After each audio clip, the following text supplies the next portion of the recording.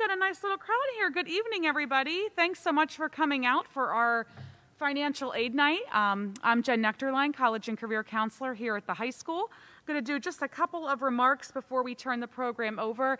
Uh, welcome to those here. Welcome to those live streaming on our YouTube channel at home.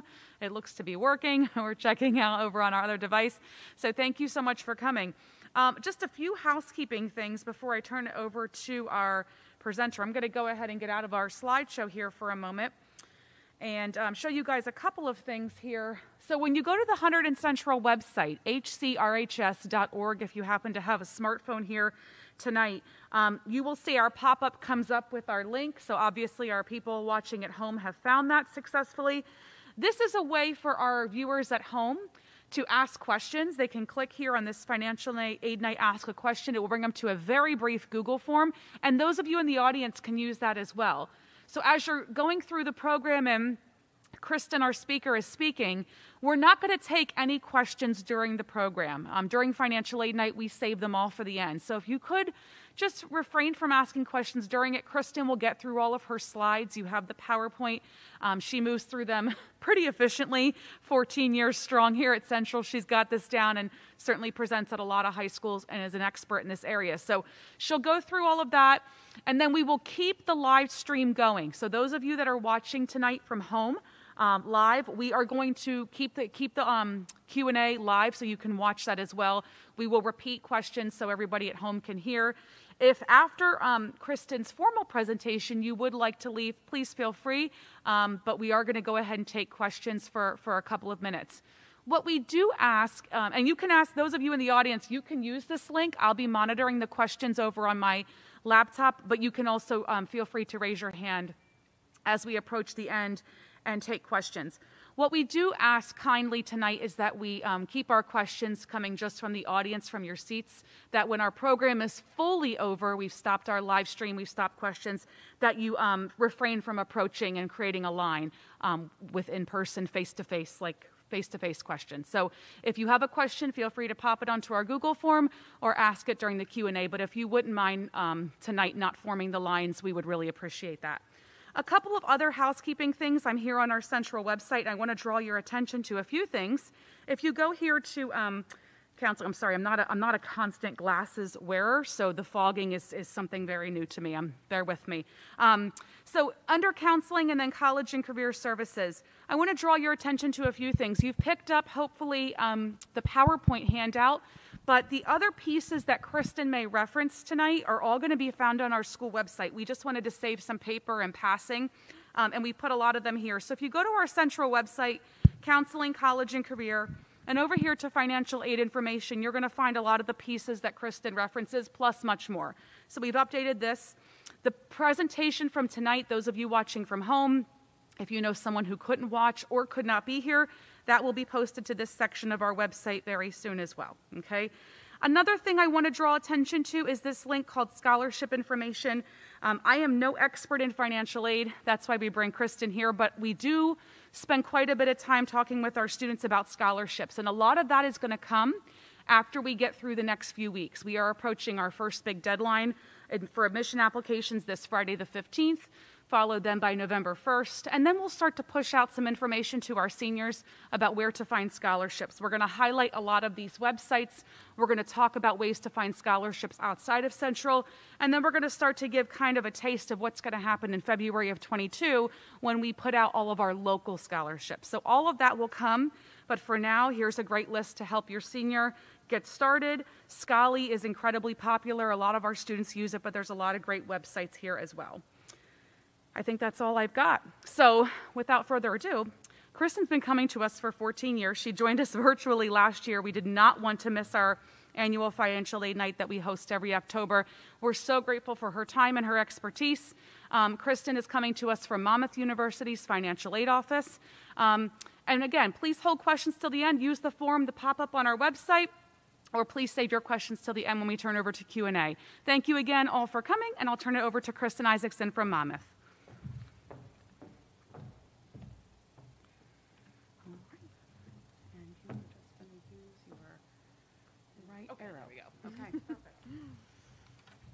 All right, good evening, everyone, and thank you to everyone who's here in person and to those watching in your comfy clothes at home.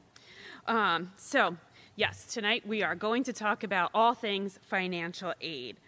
Um, so, let's go over the things that this presentation will cover. We're going to first start with some tools and some terms that you should know uh, going through the financial aid process. We're going to do a high level review of the 2022 23 free application for federal student aid, or FAFSA. We'll take a look at some types and sources of aid, um, aid programs that are available. Um, I have some tips at the end, and I also give you tips throughout the whole program. So, first, thing that I want to tell you about is a website, studentaid.gov. This is the federal government's one stop shop website for everything related to federal aid. You can learn about all of the federal aid programs through this website. You can complete your FAFSA through this website. If you decide to, you or your student, uh, as parents, if you decide to borrow a federal loan, uh, applications are submitted through the same website, and then there are tools and resources to assist uh, once you are going into repayment as well. So it's really from the very beginning through the very end information um, on this website.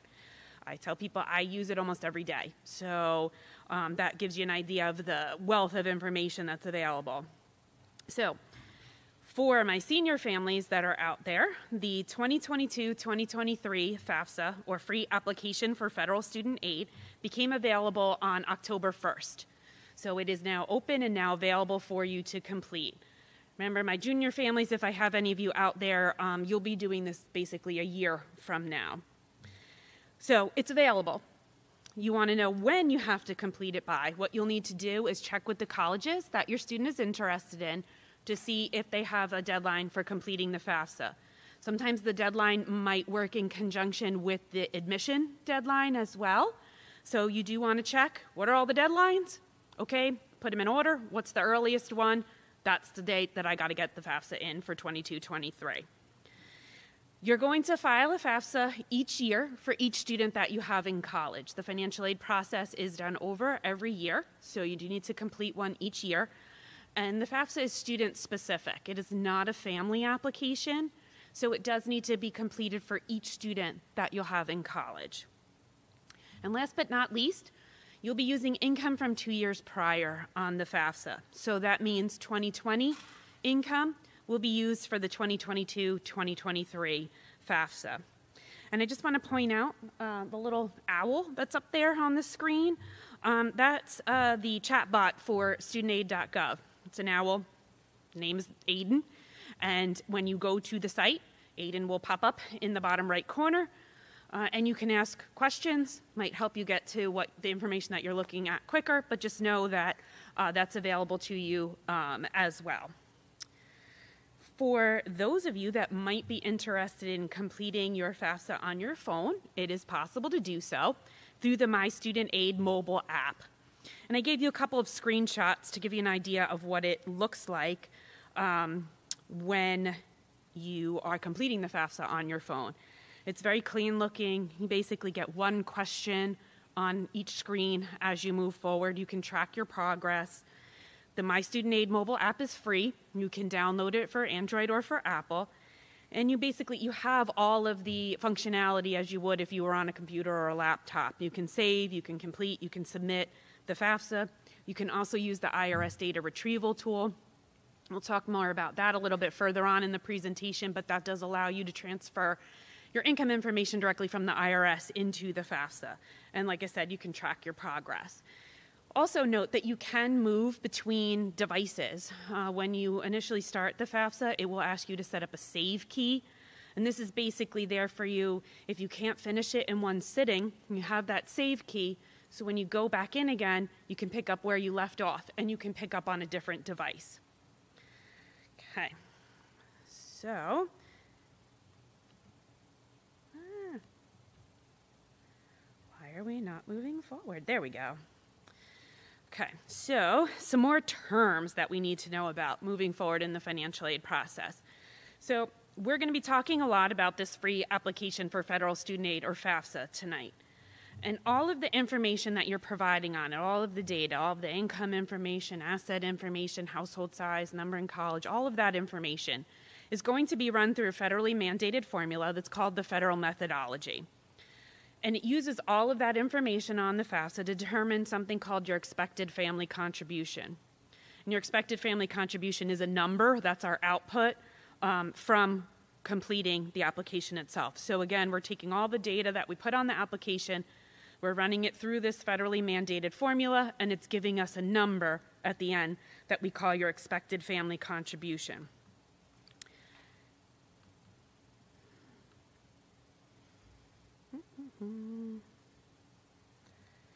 Okay, so what is the expected family contribution? Basically, it is a measurement of the student's and family's ability to pay for post secondary educational expenses.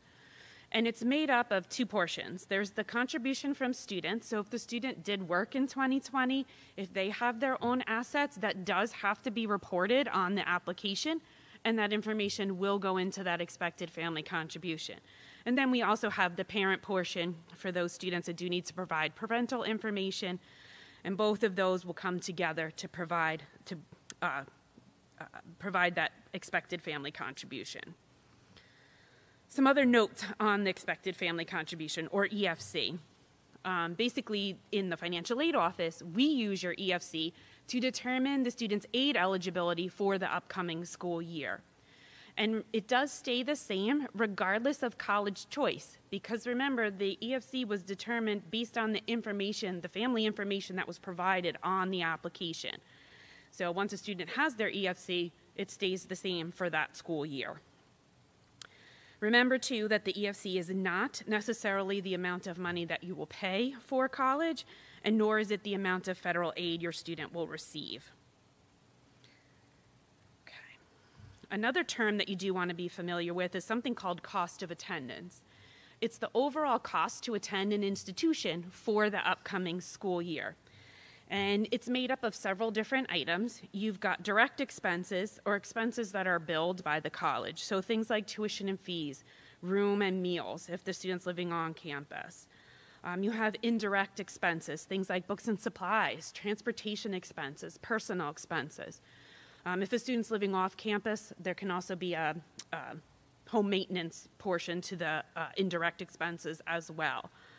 Um, why do we need this? Because we want students to be prepared for the overall cost to attend that institution. It's not just about having enough money to pay the bill. You need to be able to purchase your books and supplies. You need to be able to get to and from campus, and that can mean different things for different students. Transportation means one thing if your student's living at home and driving somewhere to campus, and it means something different if a plane ride is required to get them to the school they'd like to attend um, because there are times when they do need to get to campus and then come back home as well. So you do need to be prepared for that expense. And personal expenses are things like clothing and entertainment and soap and shampoo and things to have uh, every day for living. So, again, cost of attendance, overall cost to attend for the upcoming school year. And finally, financial need. As you move forward in the financial aid process, you will read about different types of aid that say this is a need based program or requires financial need to be eligible for this particular program. So we have to have a way to determine who has financial need and for how much. So we do this little equation that I have up on the screen. We're going to take your cost of attendance, so the overall cost to attend the institution for the school year. We subtract from it that expected family contribution. So the number that the federal government got from processing your application that gives us the student's financial need. Let's put some numbers to some examples to give you a better idea of how this works. So let's say I'm looking at two different schools. My first school has a cost of attendance of $40,000. And in my example, my expected family contribution is 15,000, leaving me 25,000 in financial need at the first school. But I'm looking at another school, a little bit more expensive, so $65,000 cost of attendance. The EFC still 15,000, leaving me 50,000 in financial need at that second school. So in real life, what does that mean? School number one, I can get up to $25,000 in need based aid, and at the second school, up to $50,000 in need based aid if it's available. Not every school can guarantee to fulfill 100% of need for their students. Uh, those schools that do, it is prominent on their financial aid website when you're researching, you know, what types of aid might be available from that institution. You can Google colleges that fulfill 100% of financial need. Um, and those schools that can't guarantee to fulfill 100% fulfill as much of that financial need as they possibly can. Okay, so a couple more tools to make you aware of. One is a net price calculator. So if you'd like to get an early estimate of your student's aid eligibility at a particular college, I recommend using a net price calculator. You should find it on the college's financial aid website. All colleges in the country have to have one. Um, and what you'll do is provide some income information, and then it will return to you um, uh, an estimate of the student's aid eligibility uh, for that upcoming school year. And it will also give you information about the cost for that institution as well. The link that I have there at the bottom of the page is a way to help make it a little bit simpler if you want to do a net price calculator for multiple schools. You can go to that collegecost.ed.gov website and then enter the name of the school that you'd like to do a net price calculator for, and it will take you directly to their website. Um, you can't just enter the information in one spot and have it return it for a bunch of different schools. You do have to use each individual school's net price calculator, but that will cut down on the searching uh, for the specific site for the college you're interested in. My last tool is um, something called the Federal, uh, Federal Student Aid Estimator. Um, this replaces what used to be called the FAFSA Forecaster, in case anybody recognizes that name or used that before. Um, and what the Student Aid Estimator does is lets you kind of do, I call it a dress rehearsal of the FAFSA to see information that's needed. And it's going to give you an early estimate of the expected family contribution as well as potential eligibility for federal student aid. I recommend this tool for juniors or any sophomore families that I have out there for senior families. You're going to be filing the FAFSA very shortly, and it's going to give you, when you complete it, an estimated expected family contribution and the potential federal student aid eligibility. So, really, for senior families, you need to be doing the real one. But if I have junior families, sophomore families that want to get an idea, you can use the student aid estimator. Um, what, one of the things that it um, has improved over the former FAFSA forecaster is if you want to use the federal student aid estimator, you don't have to worry about setting up an account or having a login. You can just go to the site, enter the information, and then it will, you know, give you, uh, return you the uh, information. Okay, so as we move into the FAFSA for 22-23, I do want to let you know about a couple of changes um, that are happening with 22-23.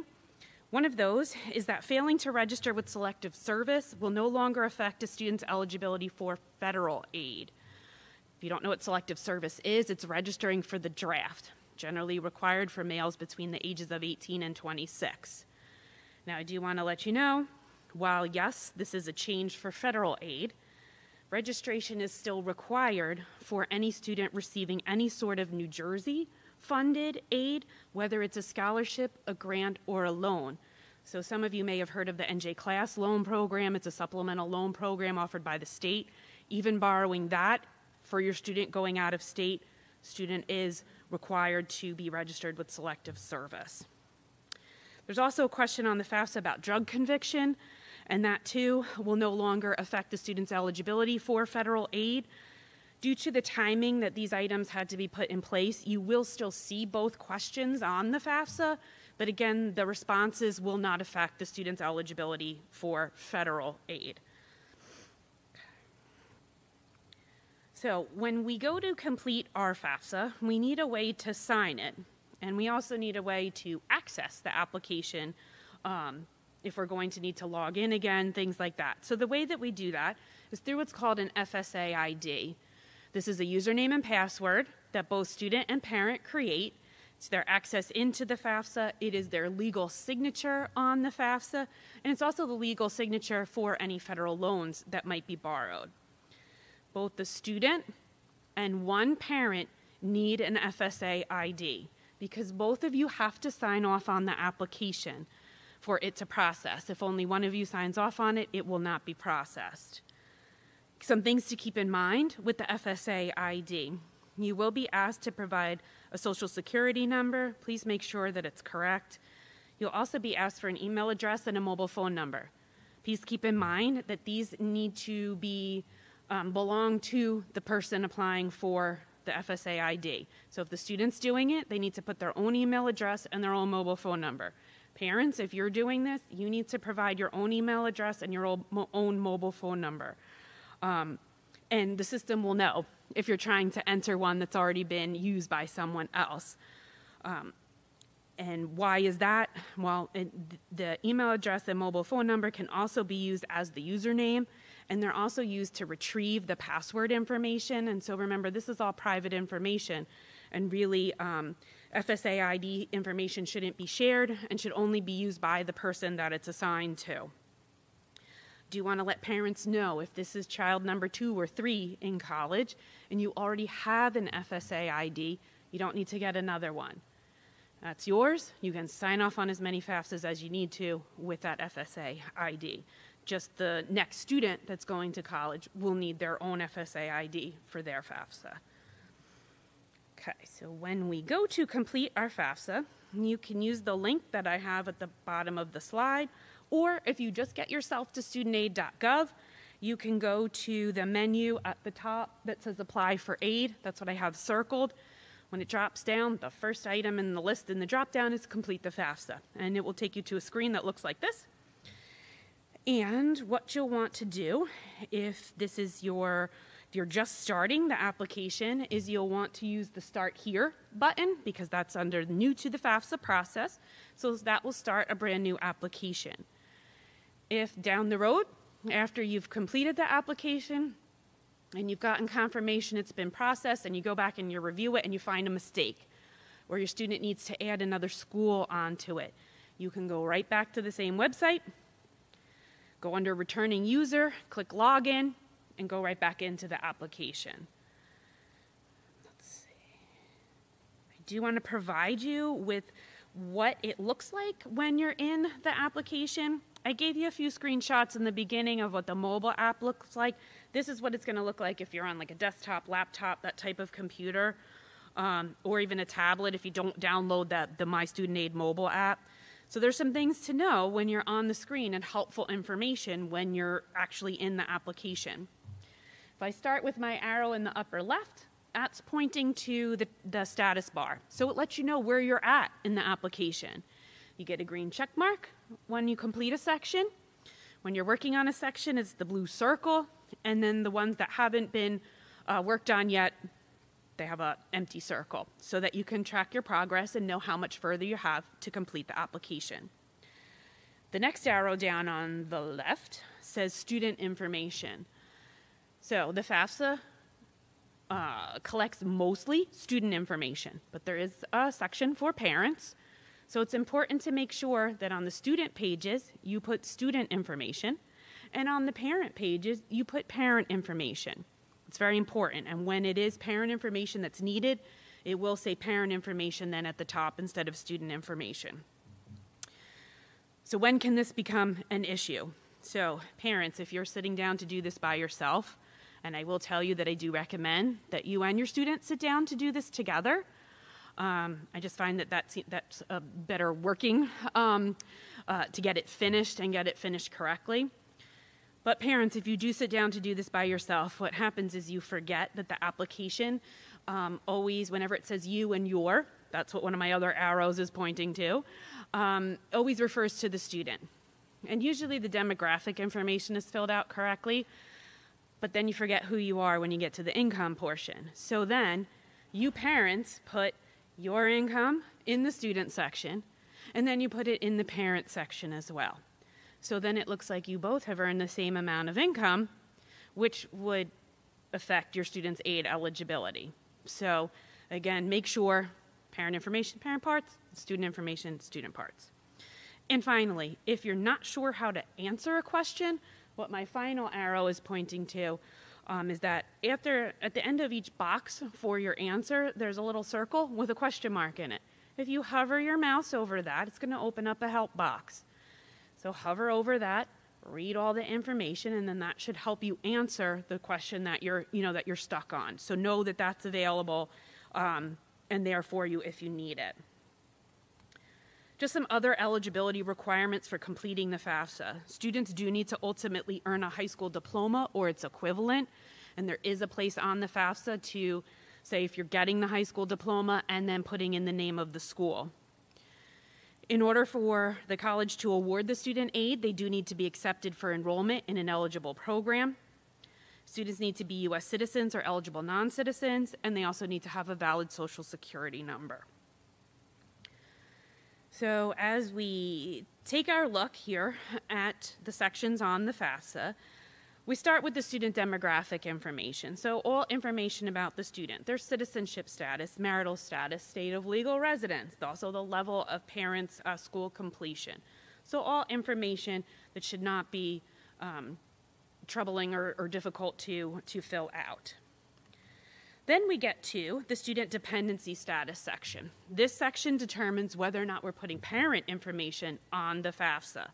The way that it works, the items that I have on this slide and the next slide, if none of them apply to your student, then you're going to be putting parental information on the FAFSA. If at least one item does apply to your student, then you will not have to put parent information on the FAFSA. And they're all yes or no questions. We'll go over them. So then as I go over them, you can think in your head yes or no for your student. So again, this has to do with the student. Were they born before January 1, 1999? Are they married, serving on active duty in the U.S. Armed Forces, or a veteran of the U.S. Armed Forces? Since turning age 13, were both parents deceased? Was a student in foster care or a dependent or ward of the court?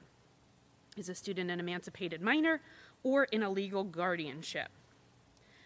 Is a student working on a master's or doctorate program? Does the student have children who receive more than half of their support from the student? Does the student have dependents other than children who live with the student and receive more than half of their support from the student? And is a student homeless or at the risk of being homeless? So, again, if none of those items apply to your student, you will be putting parent information on the FAFSA. I know that some of these items sound a little strange for 17, 18 year olds, but remember there's one FAFSA, whether you're getting an associate's degree or a PhD, whether you're 17 or 70. So, again, all the, the questions need to be there. Obviously, um, depending upon circumstances, you may answer things differently. Or parents, as you think yourself, if you went to college and were answering these questions, you would answer them differently from your student. So if we go as we go into parent information, there are some things parents I want to make you aware of so that you can be prepared for this portion of the FAFSA. You are going to be asked about your marital status. And unlike income information on the FAFSA, marital status is as of the day you complete the application. So we're using income from 2020, but our marital status is as of the day we complete the application. We have choices between never married, unmarried, both legal parents living together, married or remarried, divorced or separated, or widowed. So those are our marital status options. Going to give you some examples so that um, hopefully everyone knows who needs to go on the FAFSA as far as parents are concerned. So I have a student whose name is John, lives with both of his parents who are married to each other. Easy. Both parents go on the FAFSA, marital status is married. But let's say John's parents get divorced. John lives with his mother. When they go to complete the FAFSA, the marital status is divorced. And then mom's information is what goes on the application. The FAFSA uses the custodial parent or the parent that the student lived with more during the last 12 months. It's not who claims the child for IRS purposes, not what your divorce decree says. It's the custodial parent. But now, let's say John remains living with his mother and she marries somebody else. So the next time they do the FAFSA, marital status is now remarried. And then mom's information and the step parents' information goes on the FAFSA. So step parents, yes, they do have to be reported um, on the FAFSA, Uh, they are not re- obligated to pay any college bills for the student, but that income is a resource in that household and it will be used to determine the expected family contribution. You'll also be asked about your household size. Um, please make sure that you've accounted for everyone. Um, you're going to have one or two parents, depending upon the marital status. There'll be at least one child, the one that this application is for any other children that are in your household that you're supporting, and if there are any other people living with you um, for whom you provide more than 50% of their support. We also have number in college. It's always at least one for the student that's completing this application. Parents also be prepare, prepared to provide your social security number, name, and date of birth. Always be sure to double and triple check it because it is uh, confirmed with the Social Security Administration, and if it comes back that it's incorrect, yes, it can be corrected, but again, holds up the process. And your state of legal residence. Okay, so when we go to work on the income portions of the FAFSA, the questions that are asked of students and of parents are exactly the same. So the income sections are exactly the same. Again, how you might answer them may be different depending upon whether it's student or parent filling out the section. To assist with the income items that are on the tax return, we have something called the IRS data retrieval tool. It's a way for you in real time to transfer income information from the IRS into the FAFSA. You'll authenticate your identity with the IRS, decide whether or not to transfer the data, and within seconds it will be transferred into the application. Now, I don't want anyone to um, uh, get worried if they use the data retrieval tool, which we recommend.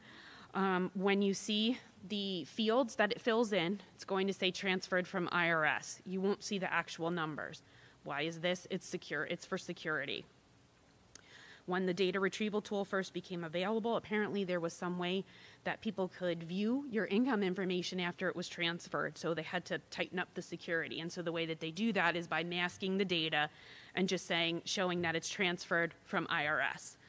Um, in order for the income to transfer, it would have already had to have been verified, um, your income verified with the IRS, everything finalized with that particular tax year. So everything that transfers over would match what's on your then 2020 tax return. Now, realize that schools and state agencies, we do get the income information because we need that information in order to uh, perform our jobs. One thing I want to make note of joint tax filers you are going to have to manually enter your income earned from work. Why?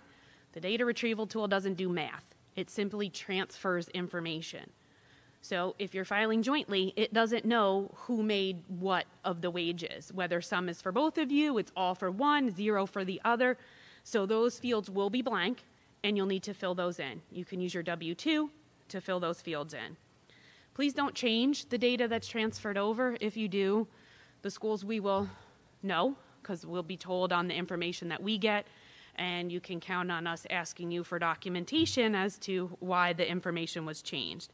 And also, do not update uh, the income on the FAFSA to 2021. Uh, it needs 2020 information, and that's the way that you'll complete it.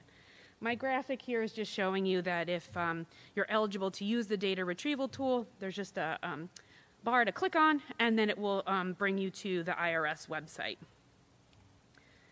Okay, so now we're getting to the end. We've just got a couple sections of the FAFSA left to do. So you may be asked about your assets. Like marital status, assets are as of the day you complete the FAFSA. So, what could you be asked about? You could be asked, what do you have in cash savings and checking accounts? What is your investment net worth? Your business or investment farm net worth? again, as of the day you complete the FAFSA. So with cash savings, uh, savings and checking accounts, add up what you have in those accounts, that's your answer. Cash really is what's in your wallet, what's in your purse, do you hide stuff in the mattress? I don't know. Add that all together. Investments. Let's review some information related to investments in case you do have to report this information. So, I'm going to give you the items that do not count as investments for FAFSA purposes because the list is a lot smaller than the items that do count as assets. So, the exclusions from investments are the home that you live in, the value of any life insurance, and what you have saved in your retirement accounts. So those are the three items that do not have to be reported as investments. Home that you live in, value of any life insurance, what you have saved in your retirement accounts. Basically, everything else is an investment. If you own another home somewhere, you own land somewhere, has to be reported. You own stocks outside of your retirement fund, those have to be reported. Money market funds, mutual funds, um, CDs, stocks, bonds, um, all of that is a um, is considered an investment all as of the day you complete the FAFSA. One other item that's also considered an investment your 529 college savings plan. So, if I have anybody who has one of those, let me give you some information about how they're treated on the FAFSA. So, we are looking at with 529 savings plans, we are looking at the owner of the plan, not the beneficiary. So, we want all accounts owned by your student and all accounts owned by parents um, or one parent, only the, if, if one parent's on the FAFSA, then it would just be that parent. But that's who we're looking at. We're looking for ownership, and we're looking at owner who is student or parent. And then the way that it works is that you're going to include all accounts owned by the student and all accounts owned by the parents for any member of the household. So if you have multiple children and multiple accounts, you do need to add them together and put the grand total on the application. I'll read that to you again. We're looking for all accounts owned by the student and all accounts owned by the parents for any member of the household. So that's information regarding the 529 plans.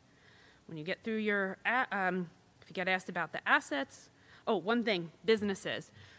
If you have a family owned and controlled business with 100 or fewer uh, full time employees, so a family owned and controlled business, 100 or fewer full time employees, you do not have to come up with a net worth to your business. You'll also have a section on the FAFSA to list the colleges that you'd like to receive this information. You do need to list at least one, and you can list up to 10 colleges on the application at any one time. When you go to complete this application, if your student is still looking at more than 10 schools, here's what you do take 10, fill it up, let it process. You should get notified by email a few days later that it's been processed. Once you have that notification that it's processed, go back in to the website, log in, and then you'll have to overwrite some of the initial 10 schools with the ones that didn't receive it. So if you at 15, you put 10 on the first time, it's processed, you go back in, you have to overwrite five of the initial schools that received it with the five that didn't get it. And then uh, once you get the confirmation that second time around, then you know that all 15 of your schools have received the information. Okay. And then we get to the part where we're going to sign the FAFSA. Just pointing out here that you're going to, the student is going to sign it. In this example, this slide just shows that the student has signed with their FSA ID. Next step is for the parent. And then we have um, it's offering parent one or parent two, um, which who are you? And then um, realize that only one parent does need to sign it, not two. There's only space for one parent to sign. You'll complete that. And then, congratulations, you get to the confirmation page. That's how you know that you're done. When you've got that congratulations on it, you know that you successfully submitted the application. What I'm pointing at on the slide there is that if there is a sibling in college, you can click from the first one's confirmation page to go start the next one, and it will transfer over parent information. So it helps a little with um, uh, having to re enter information if you have multiple children. And also, the confirmation page will list out all of the schools that were put in the school section and give you some demographic information about those schools. Okay, so congratulations, we got our FAFSA done. Because basically, all schools are going to ask you to complete the FAFSA, but then they may ask for more than that. There may be uh, their own in house scholarship application. So, again, this is something to check with the financial aid offices at the school your schools your student is interested in. What do you need me to fill out? You can find it on their website. Um, so they may have their own application, or they may ask you to complete something called the CSS profile. CSS profile is put out by the College Board. used by about 300 schools across the country. What is it used for? It's used for institutional aid. So schools that have significant institutional dollars want more information about you than what's on the FAFSA to determine who will receive those dollars. So they are two different applications serving two different purposes.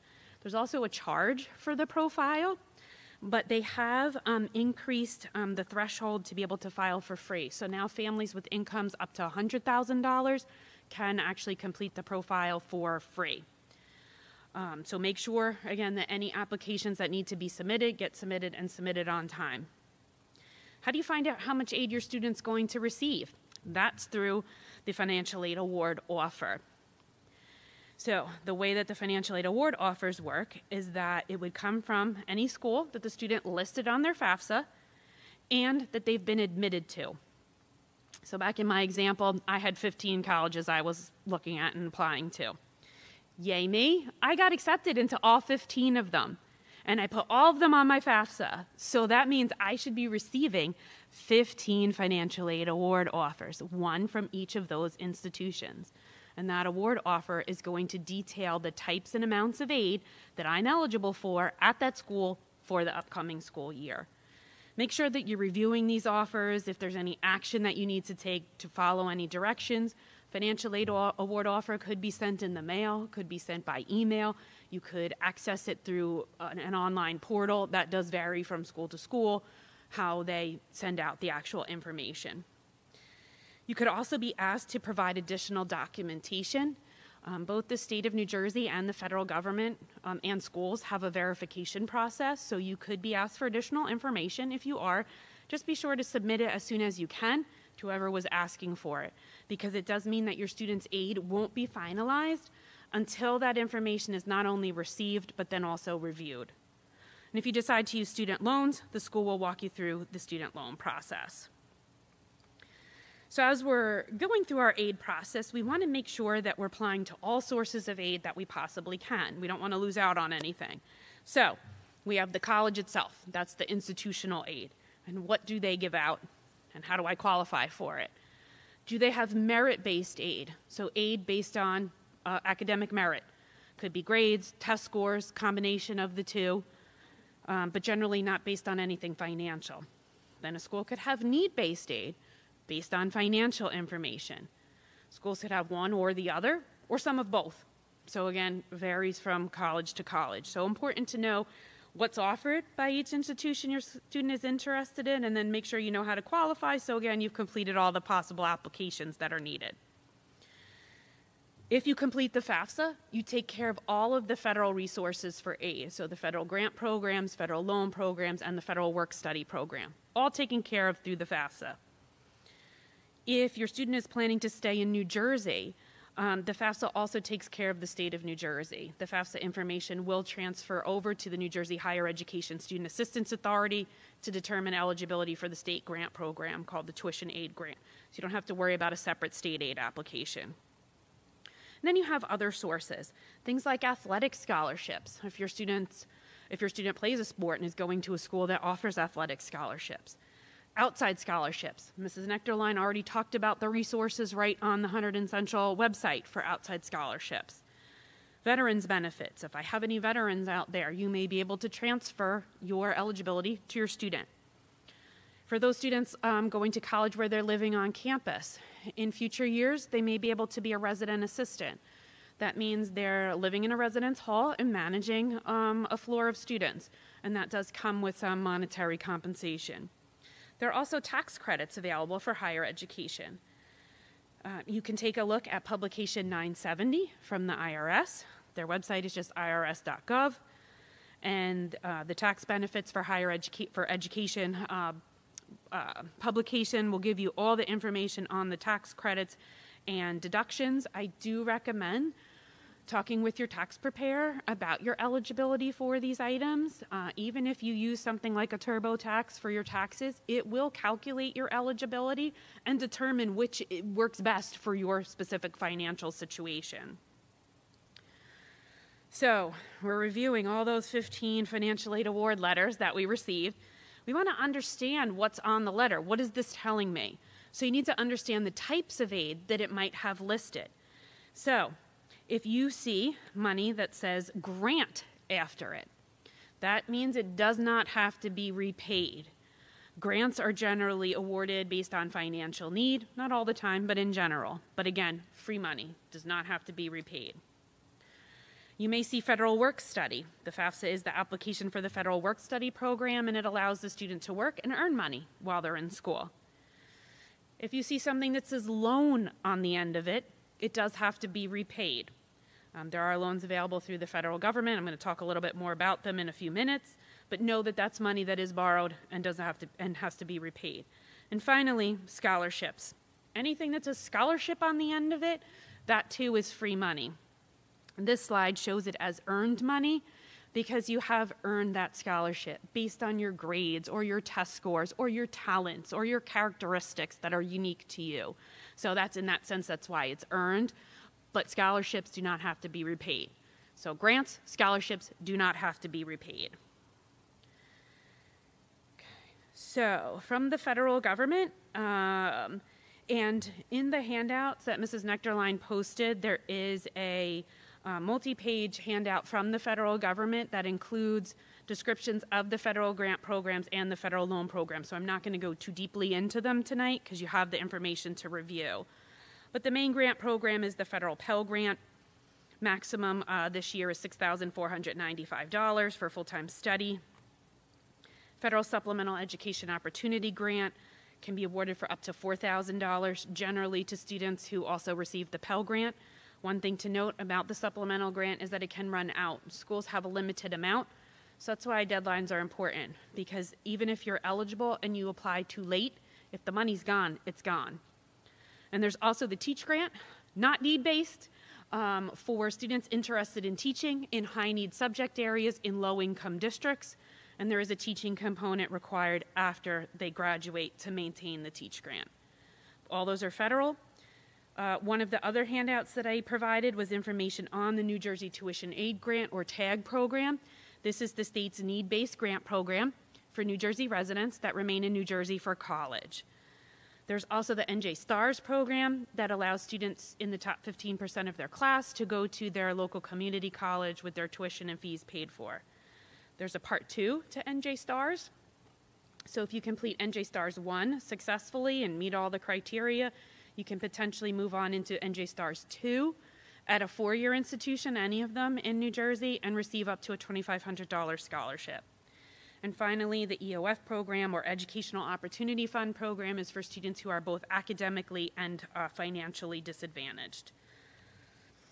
Okay, we kind of covered the um, outside scholarships in the beginning, so always think local. So when the information about the local scholarships comes out in February, I believe it was, be sure that your student um, gets in it to win it, uh, and then also that you're using um, the web for further reach. The two websites I have on here or in the list that's on the Hunterdon Central website.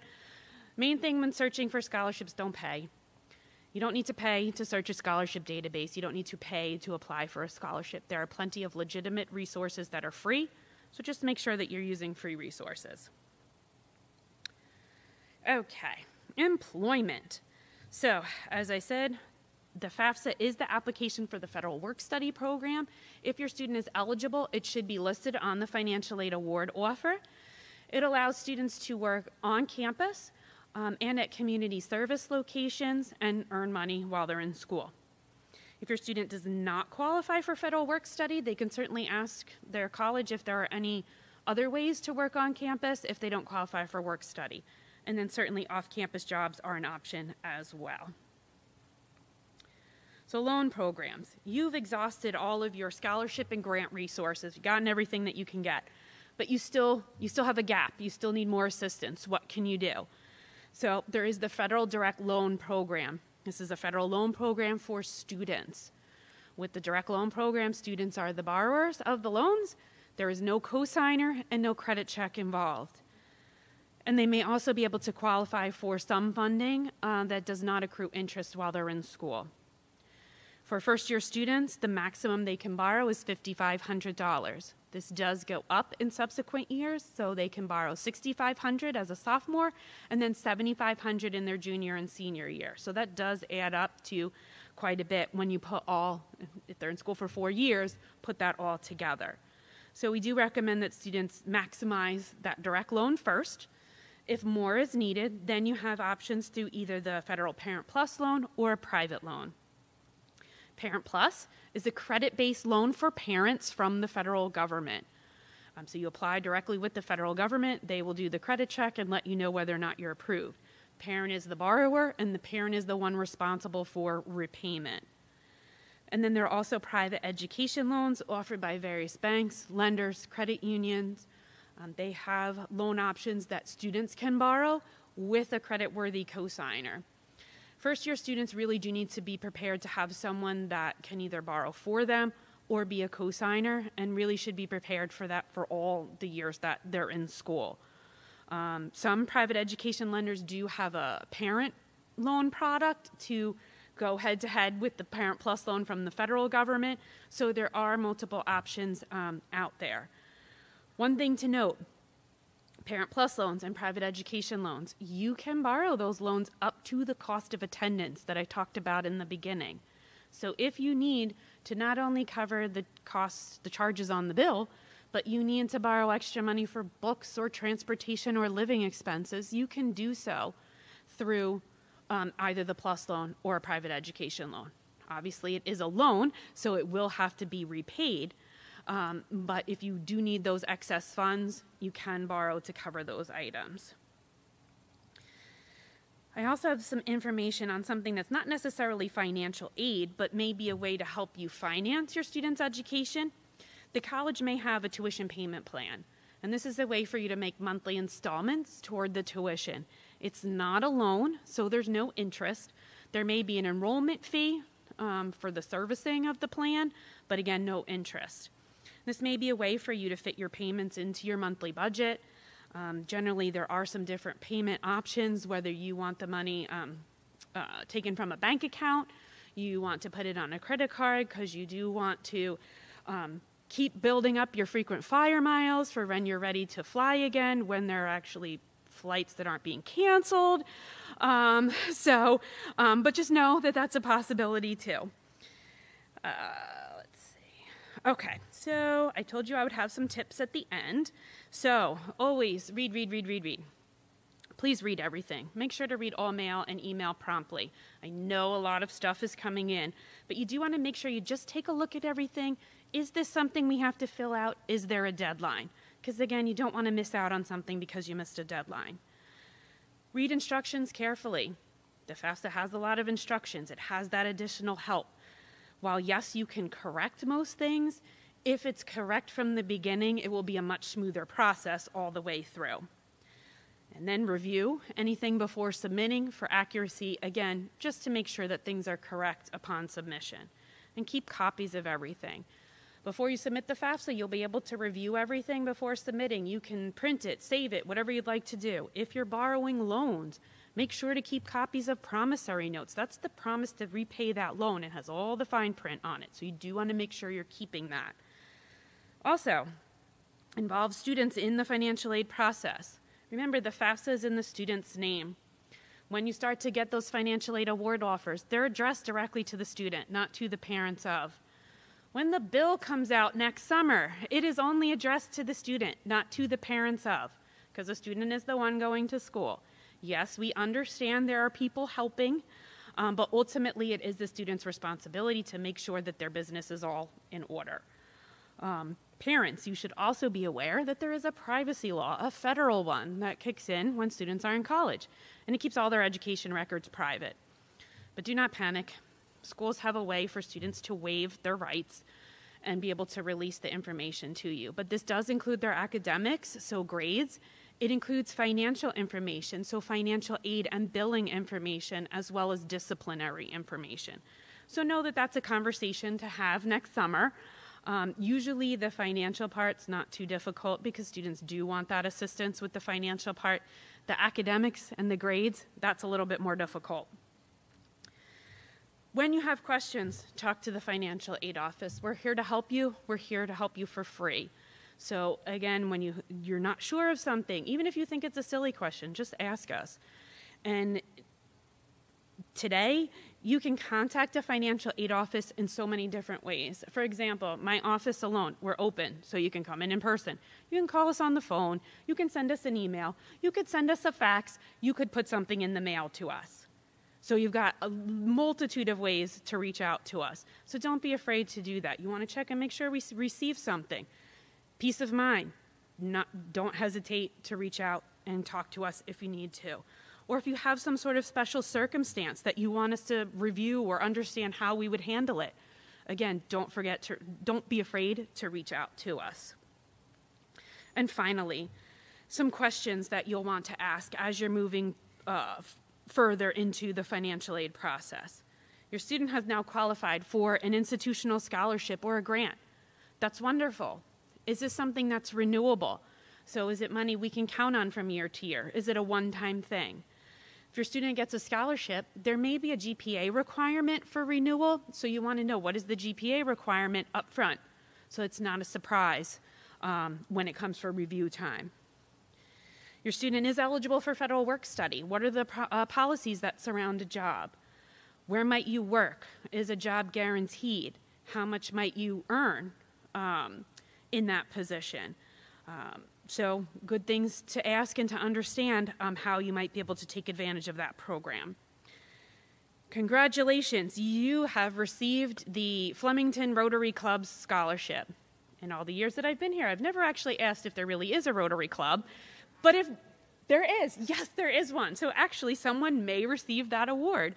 So you've received this scholarship. You do need to ask the financial aid office how might this affect the other aid you've already offered me?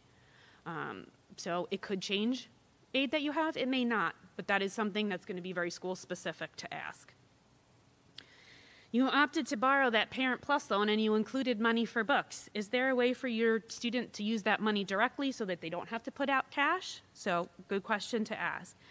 And then, if there's been a change in your circumstance, whether there's been a job loss, a loss of some sort of untaxed benefit, or some other change in your circumstance, reach out to us and let us know. Um, we do have a way to address um, changes in circumstances. Um, you may hear it called a special circumstance, an appeal, professional judgment. It goes by a few different names, but it's all the same. Um, what we'll need to do um, is, whatever your situation is, the school will need to document the situation. So, just telling us that something changed, that won't be enough. We will need proper documentation. We'll review the documentation that you submit determine if your circumstance is something that we'll approve, and then if so, we'll um, recalculate income, we'll correct, uh, we'll change the FAFSA for you. You don't do anything. That's why I stressed in the beginning.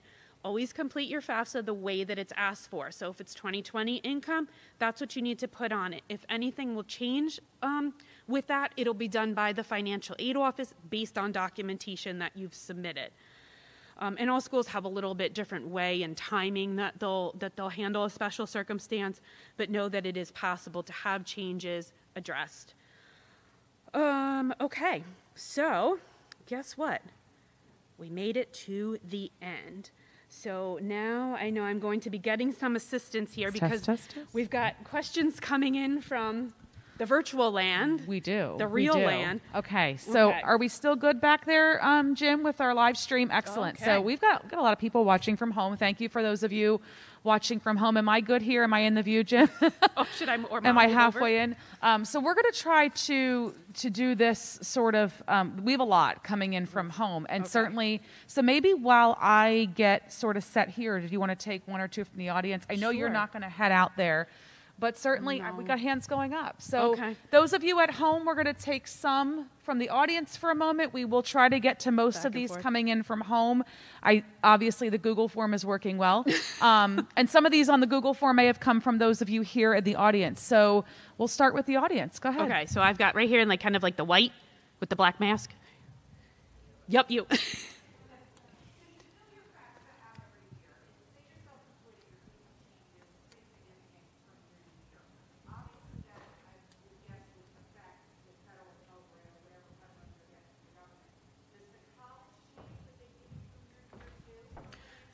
So the question is about does the college change aid you might receive from year to year based on changes in income information?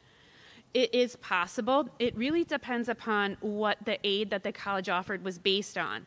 So, for instance, if it was a merit based scholarship, it probably won't change. I can tell you specifically for Monmouth, we have merit based scholarships. They have nothing to do with the FAFSA. So, whether you file or don't, or something changes, the student can still receive that same amount.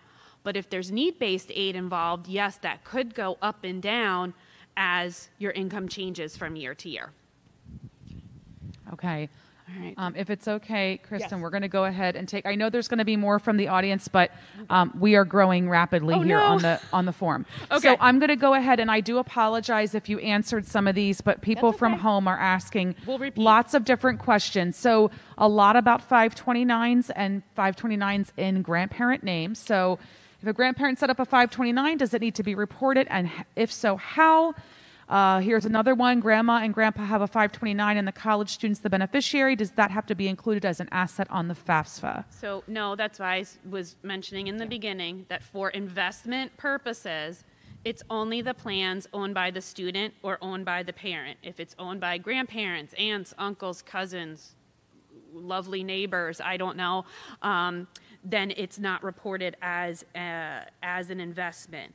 Um, when you do take a distribution from a plan owned by like a grandparent, aunt, or uncle in subsequent years, you are supposed to report that as income, but that's totally different from reporting it as an investment. So, again, for the investment side of things, it's just plans owned by students and owned by parents. Okay, I'm going to take two more and then we'll go back to you guys here live. This is quite a back and forth, but I think I can answer both of these. Is the presentation going to be uploaded and li- well, we're live streaming right now, um, and then this will be available on our YouTube channel, right, Jim? So if those of you that want to rewatch and learn more about financial aid at another time, you can. And then there was another question: Can I get an early estimate? of um, of of my fa- like of early FAFSA estimates. So two things I'm going to recommend, and correct me if I'm wrong, Kristen. The net price calculators that are on college and university websites are a great place to plug in your income and asset numbers and get an idea of your um, overall cost through there, and then the FAFSA forecaster. Yes, which still is, yeah, exists. So okay. That's what I had. So net price Okay. calculator is going to be college specific. So it's the aid eligibility at that particular college or university. If you're using the federal student aid estimator, that's just going to give you an early estimate of the expected family contribution and pet- uh, potential federal student aid eligibility. So little different um, uh, reasons for using both of these items. And like I said, I recommend the student aid estimator for like junior and sophomore families, since senior families, you're going to get the same information when you complete the FAFSA for real. Okay. Any others from here? Because they're just. Uh, we were going to stay, keep, keep, um, just keep for distance, if, if that's okay. Yes, yes. Are there any others here? Go ahead.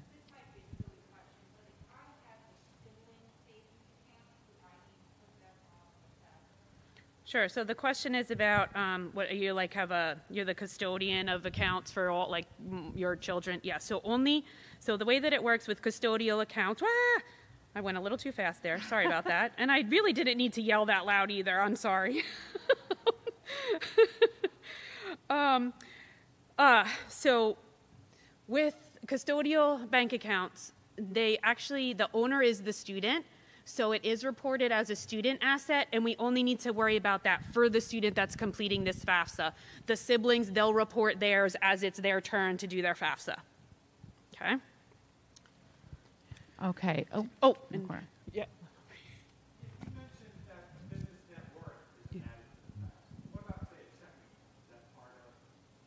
Sure. So you, um, if you do have to provide information about assets on the FAFSA, one of the questions will be, as of the day you complete the FAFSA, how much do you have in cash, savings, and checking accounts? And that's for both student and parent. Um, no, it's, that would be personal accounts. The, the business is the business if it's, um, uh, you know, uh, as I said, family owned and controlled with 100 or fewer employees, then you wouldn't have to worry about that checking account. Yeah, correct. But you'd have to, but any personal ones, those would go on. Okay, I'm gonna. Um, I've got like almost 30 Oh coming in, so I'm thinking, and they're wow. covering folks a, a wide, wide range of topics. So if you're okay with it, Kristen, I'm just gonna go ahead and start Let's- rattling off some. let's go. Um, right. Okay, is there an added benefit to having more than one child in college at the same time? Um, that has been canceled in the latest FAFSA update, and I'm just reading word for word. Bear with Yes. me. So, Um, yes, go ahead. So currently, the way that the FAFSA is, it does ask for the number in college, and yes, if it is more than one, it will reduce the expected family contribution. This is something, however, that is changing, just not yet. Um, there is some FAFSA simplification that's coming down the road. At this point, it has been moved to the 24 25 school year. So it's not happening yet. So I say if you've got students, go take advantage of what you can while you can. And then obviously, if I'm still coming here, when those changes come into effect, I would certainly let everyone know about them. And then if your student's already in school, when those go into effect, the financial aid office would be making um, that information available um, as well. But currently, yes, you can um, report the multiple children in college, and it is taken into consideration in the expected family contribution. Okay. Assuming moderate income is having both parents retired an advantage for financial aid. Um, no, I don't think there's any advantage to someone retiring. I mean, you'll still have to report on the FAFSA if you're retired and you're collecting from your retirement accounts. That's still going to be reported through your adjusted gross income.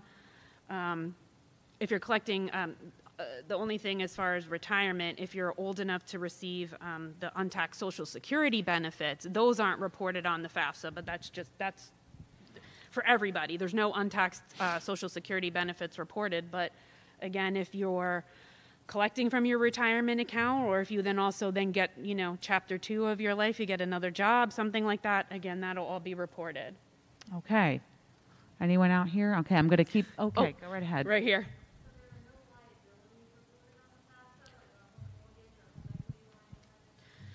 No, so there's really not a lot of spot for debt, and not and certainly not consumer debt on the FAFSA. And remember, on the FAFSA, you're not reporting your home is not counted at all. So a mortgage, you're not reporting any value to your home, so you're not reporting any debt on your home. Um, nothing like personal loans, car loans, none of that is reported on the FAFSA. The only um, place really that debt is counted is if you do have um, uh, property outside of the home that you live in. So, for instance, you have a shore house down in my area. If you have that, then yes, you can count the mortgage toward that property because that actually has to be reported on the FAFSA. Um, but really, outside of that, no, no credit card debt or anything like that. Okay. Uh, what happens if you inherited a lot of money in 2020?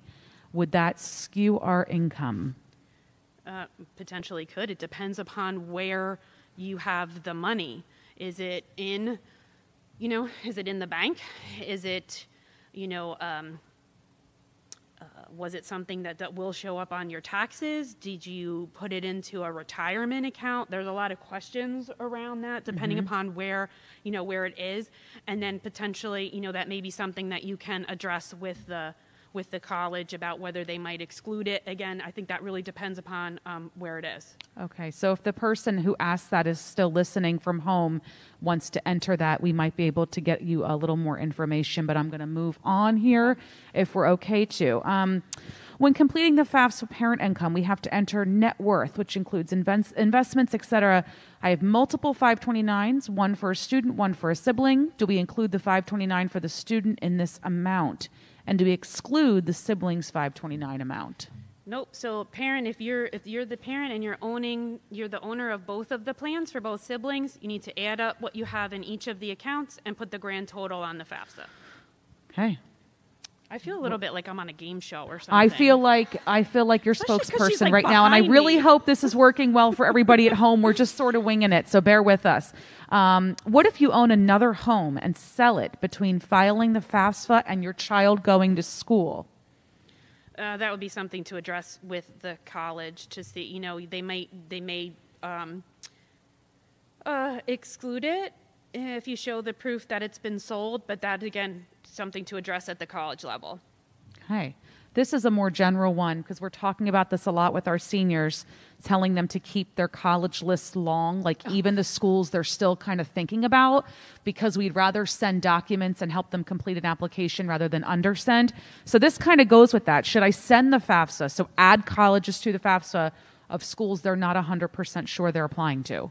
Yes, I always recommend to do so. Remember, the FAFSA is free, so the FAFSA itself is free. You're not having to pay for each college. Send it because this, if in a, if a, the eventuality is one of those, you know, ones that you weren't so sure about becomes the first choice, then they have it, and then that won't hold up any awarding because they'll have already have the FAFSA. So yes, I say go ahead, go forth and send to schools. Right. And Kristen had showed in the slideshow, and it's also a very easy Google search of what to do when you have more than 10 colleges on the FAFSA. So um, I will jump to this one. To apply for most scholarships, do you need to have a completed FAFSA? I will tell you for our local scholarships here at Central, the answer is no. But Yeah, no, I think mean, so. I think I I also um, handle some stuff at the university that deals with outside scholarships, and no, for the most part, that you didn't, you don't. There may be some outside scholarships out there that do want to take financial need into consideration, so they may want um, a copy of the FAFSA. They may want some income documents. But I would say that probably a lot of those, they probably don't have deadlines until the springtime so that you would have it done and it would have been already, you know, completed by the time it becomes an issue. Okay. Okay. Um, if completing a FAFSA, are the parents automatically eligible for a direct plus loan? What's the current rate, and is there a limit? Sure. So, question is about plus loans, and is a parent automatically eligible for it? No, a parent is not automatically eligible for it. It is a credit-based loan.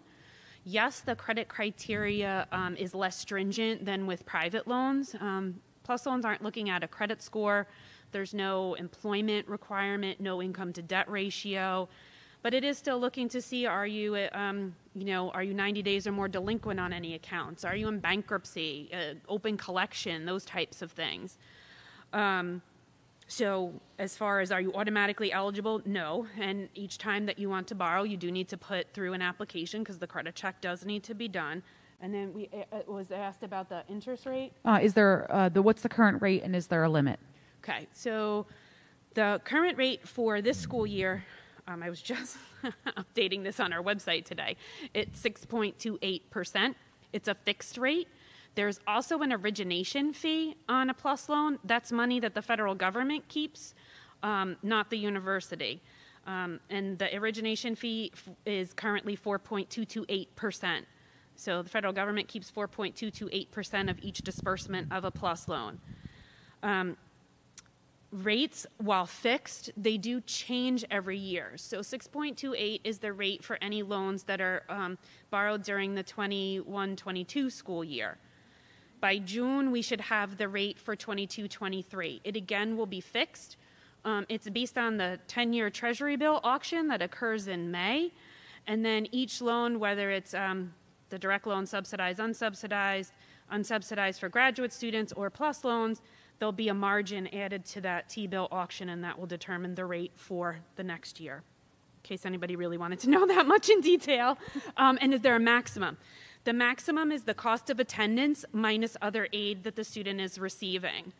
Um, so we would take that overall cost to attend figure that includes the, the extra money, like the books and the personal and things like that.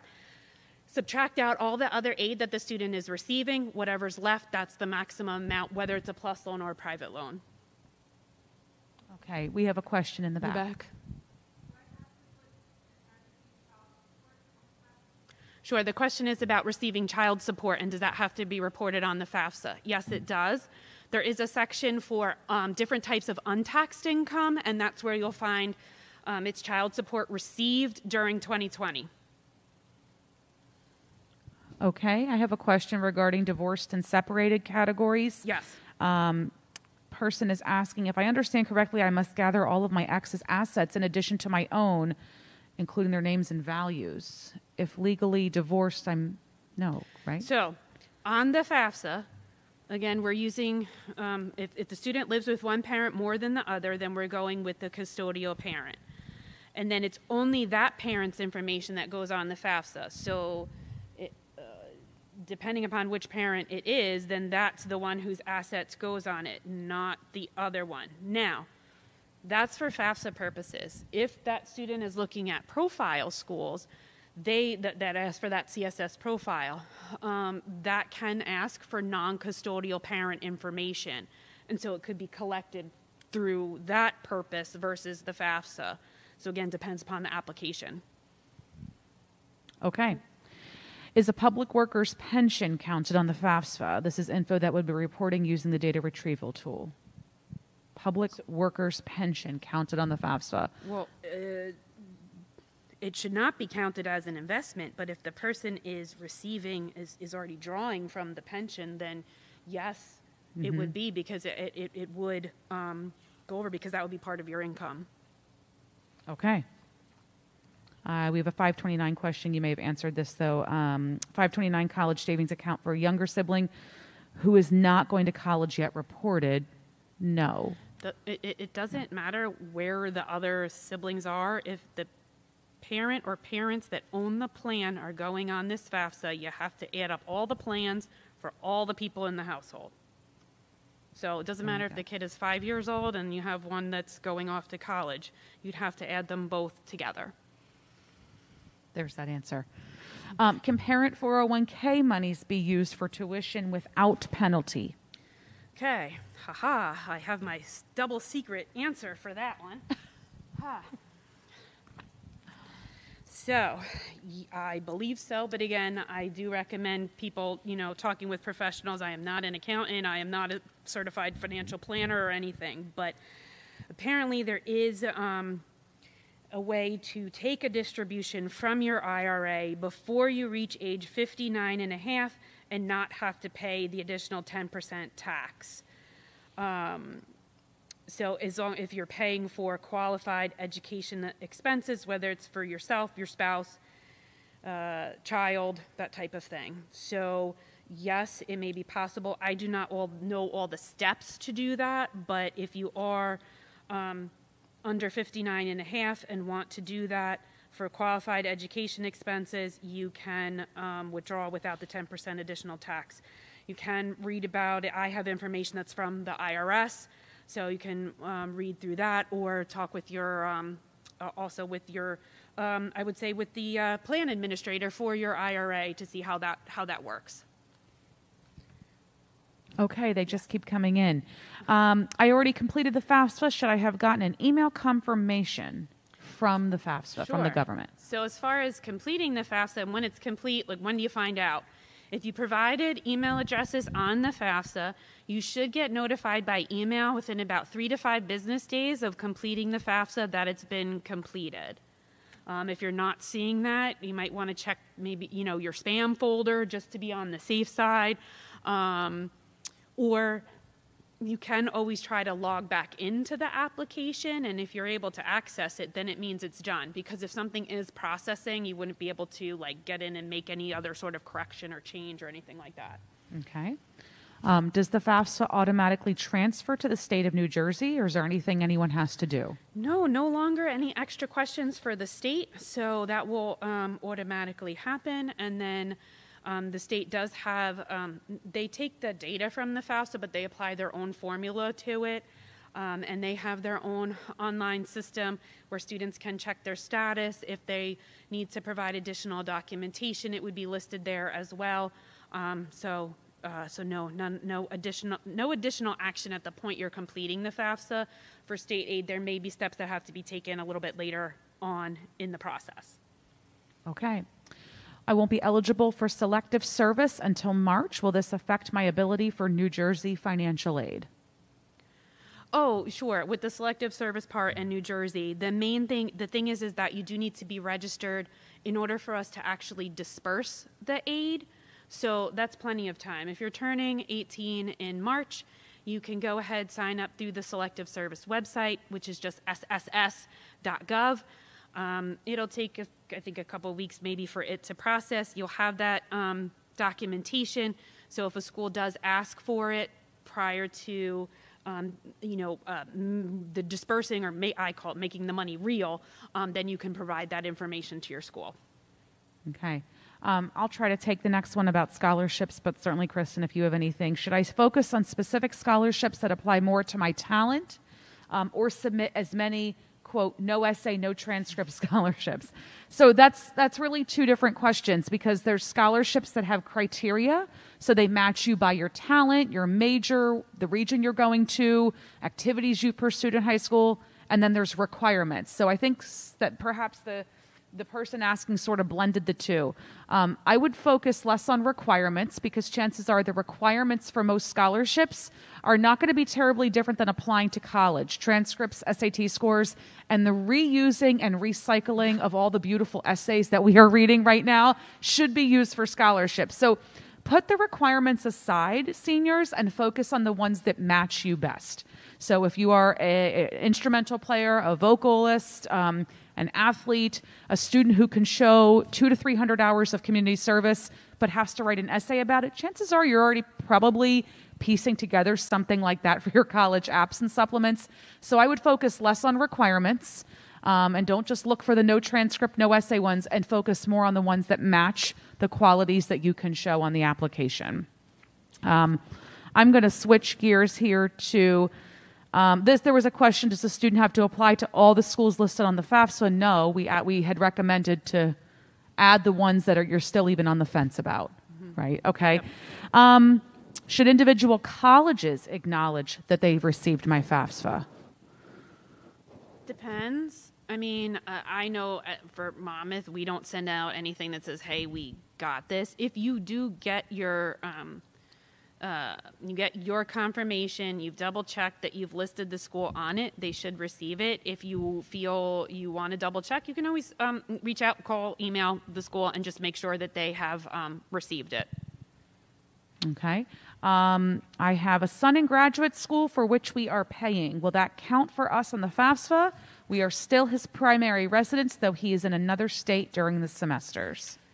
All right, so let's household size. Let's take a look at some household size information and get to my notes on that. Okay, so so for household size, it's your parents' other children, even if they do not live with your parent, if A, your parents will provide more than half of their support between July 1, 2022 and June 30th, 2023, or the children could answer no to every question in step three. That would not happen because they're in grad school. So, as long as in that situation, those parents will continue to provide more than half of the support um, from July 1, 2022 to June 30th, 2023 for the graduate student, then they can still be part of the household. Okay, we still have a lot of people watching, but questions are starting to slow a little bit. Does this process differ in any way for applying to community college? Oh, no. If you're going to community college, I would still say, you know, at least for the first year, it's my same advice that I give, whether it's two year, four year, trade school, whatever you're planning to do, to always apply for everything for that first year and see what, what happens. If the aid that you've decided to accept and what you want moving forward does not require the FAFSA, then don't file it after that.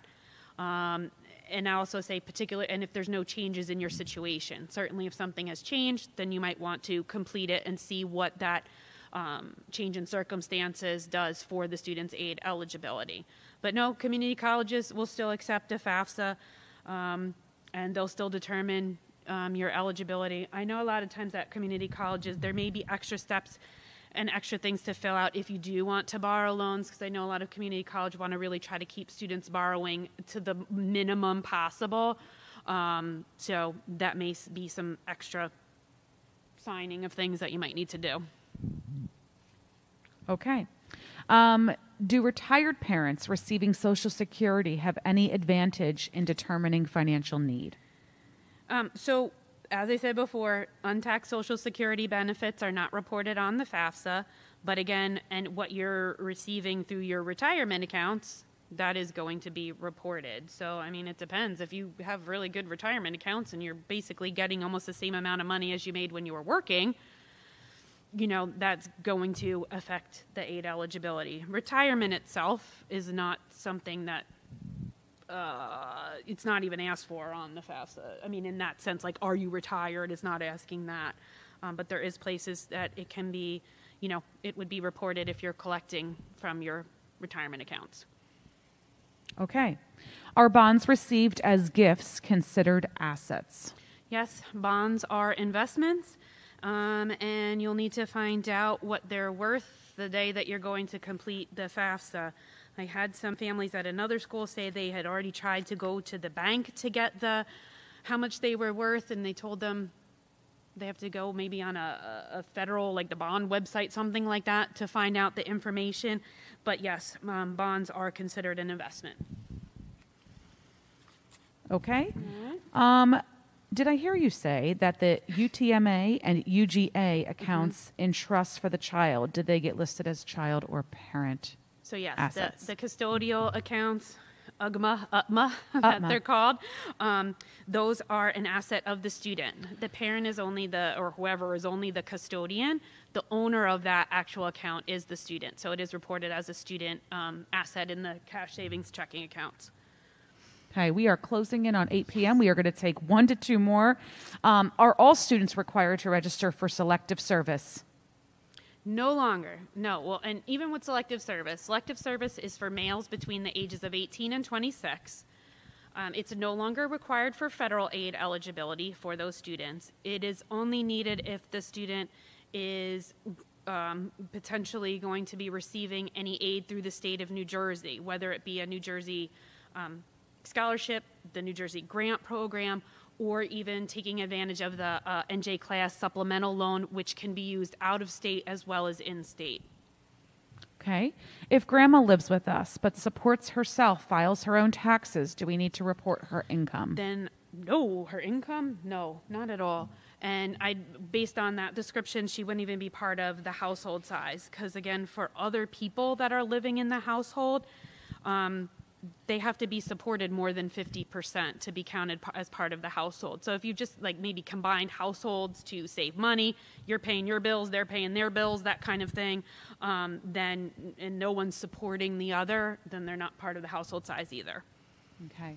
And we have one in the back here. Oh, yes.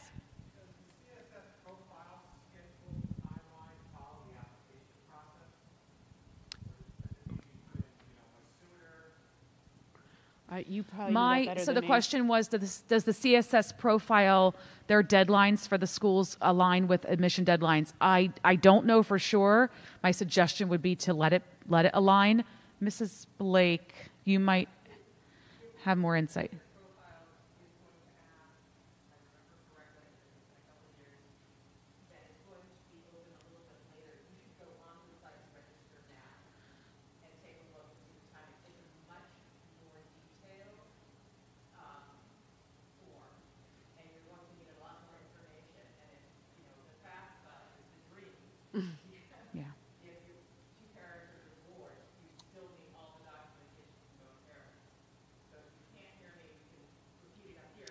Yeah.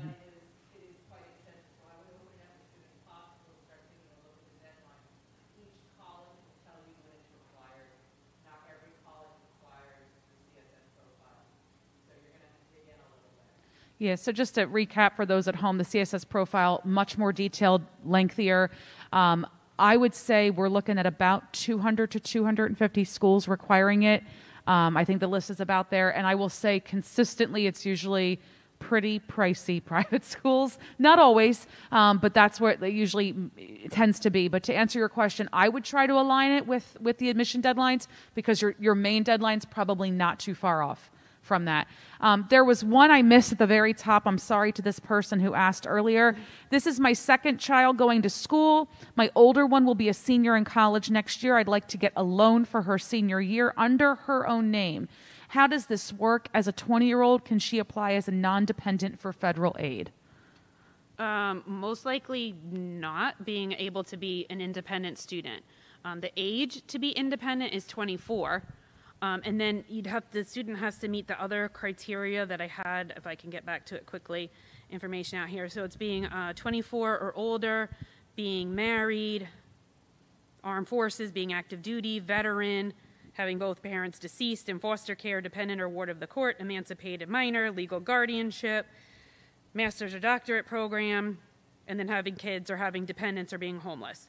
So I don't think that any of those are going to necessarily apply to the student. So they can still complete a FAFSA. They can, and a student can um, take advantage of the federal direct loan for that senior year. It would be if they're senior, it would be 7,500 that they can borrow free and clear. Um, and then you could potentially take a look at maybe a private loan where the student would borrow and then having parent be co-signer so that when the loan does go into repayment, the first person that they're asking for the payments from is the student. Okay, so that concludes what came in. I may leave that form open, anybody who's still watching from home um, through the evening. And if anything really pressing comes in tomorrow, I will go ahead and touch base with Kristen and try to put some FAQs together. Um, if you do throw a question in there after we, we um, end our stream tonight, go ahead and throw your name in if you don't mind. That way I can get back to you um, personally. But anything else from our, our in person audience? Okay, we just right. kindly ask that we we don't um, come up and do any any close up personal questions, but thank you guys for sticking yes, it out. Thanks for coming. Many many thanks to our speaker Kristen Isaacson. We're small but maybe mighty in our applause, um, and we had a lot of good um, questions and participants at home. But thank you all so much. As always, stay in touch with the counselors if there's anything we can do to help you. Thank you. Have a great night, and thank you for tuning in at home.